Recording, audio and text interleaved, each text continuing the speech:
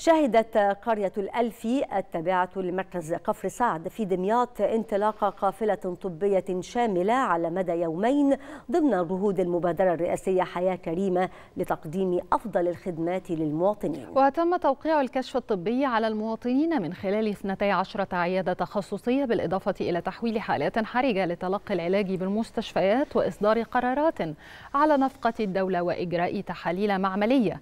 كما تم تنفيذ عدد من الندوات التثقيفية بالإضافة إلى صيدلية لصرف العلاج بالمجان بها أكثر من 160 نوعا من الأدوية.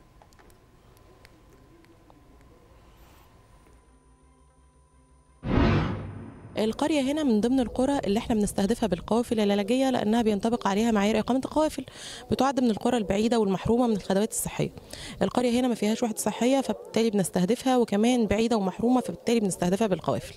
القافلة النهاردة طبعا قبل ما بننزل القرية أو قبل ما بنعمل القافلة في القرية بنراجع مركز المعلومات اللي عندنا وبنراجع قاعدة البيانات اللي موجودة معانا بنشوف الاحتياجات الصحية الخاصة بالمكان بنشوف إيه التخصصات الطبية اللي هنبدأ نوفرها في القرية إيه أكتر أكتر أدوية ومستلزمات وتخصصات كانت موجودة معانا في آخر قافلة فبالتالي بنوفرها بشكل كبير في القافلة اللي هنقيمها. القافلة الطبية طبعا جت علينا السنة اللي فاتت ومن الحدث اللي عملته إحنا كنا في استقبالها السنة دي بكل سرور لأن القافلة العلاجية فيها كل التخصصات الطبية فيها إشاعات وفيها تحاليل.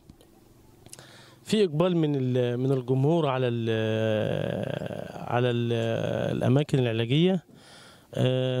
يعني ما شاء الله يعني الناس كلها متعاونة وبنشكر الصحة وبنشكر اللي قاموا بال... بال... بالإنجاز العظيم ده اللي عمل لخدمة أهل البلد وأهل القرية. الحمد لله هنا 100 100 والله وقابلهم قبله حلوة وكشف عظام وكشف باطني و... وجراحة و... أنا جيت النهارده كشفت باطني ونظر وكويس جدا الدكاترة كان أسلوبهم كويس جدا وهم كانوا كويسين جدا يعني وأسلوبهم طريقتهم كلام حلو. الحمد لله أنا النهارده جيت كشفت والدكاترة جابوا لي علاج وقابلوني أحسن مقابلة.